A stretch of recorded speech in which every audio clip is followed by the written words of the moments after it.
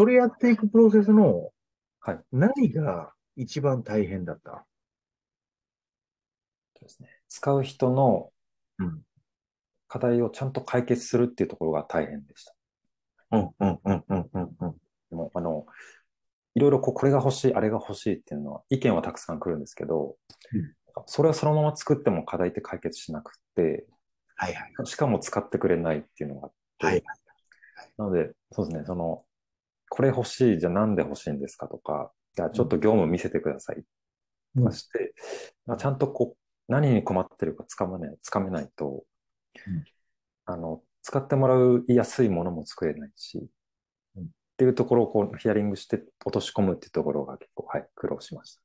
大変だよね。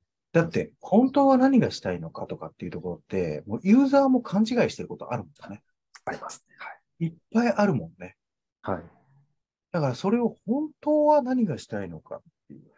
じゃあ本当にしたいことのために本当にそのユーザーが今言ってきてるこれをつけろって言ってるのが本当に役に立つのか、そうじゃなくてそれはいらなくてむしろこれじゃないですかみたいなはいことをちゃんとユーザーの話聞いて、ある意味ユーザー以上に理解をして、あの、考えていく必要があるもんね。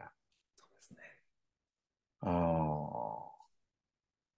そこででも偉そうに言われることとかも結構あるでしょ。ありますね。はい。あるよね。めちゃくちゃあります。はい。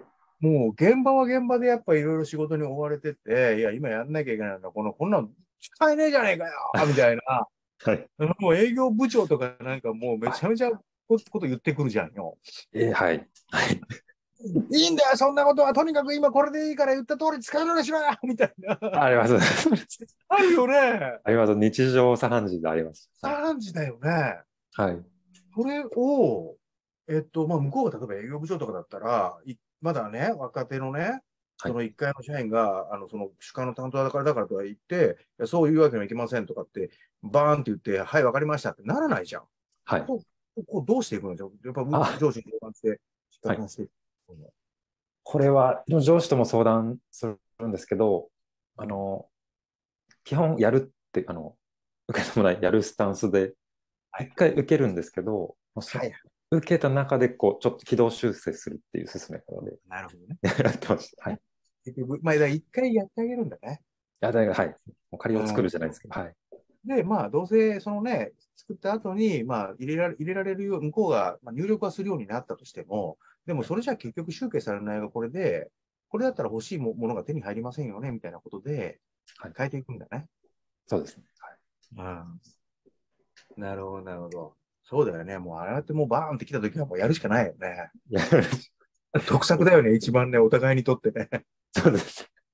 やらしてみて、ほら、ダメじゃんっていうふうに分からせなきゃダメなんだよな。あ、もうそうですね。そこまで。はい。なるほど。そうなんだね。